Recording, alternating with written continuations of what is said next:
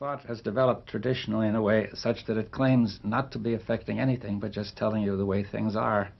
Therefore, people cannot see that they are creating a problem and then apparently trying to solve it. That is, see, let's take the problem. What problem do you like? Pollution, the, the, or the ecology. See, the ecology is not in itself a problem. It works perfectly well by itself. It's due to us, right? Uh, it's a problem because we are thinking in, in a certain way by breaking everything up and each person's doing his own thing. Right?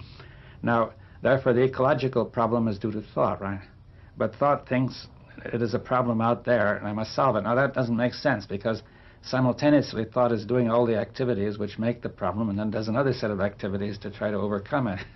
You see, it doesn't stop doing the things which are making the ecological problem, or the national problem, or whatever the problem is.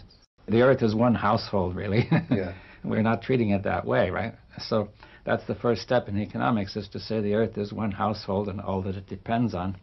It's all one, you see. So uh, now the implicate order would help us to see that, to see everything unfolds everything.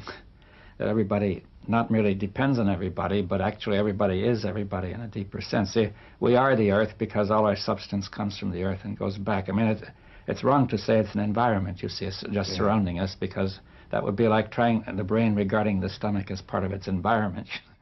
I am here cause we share the same.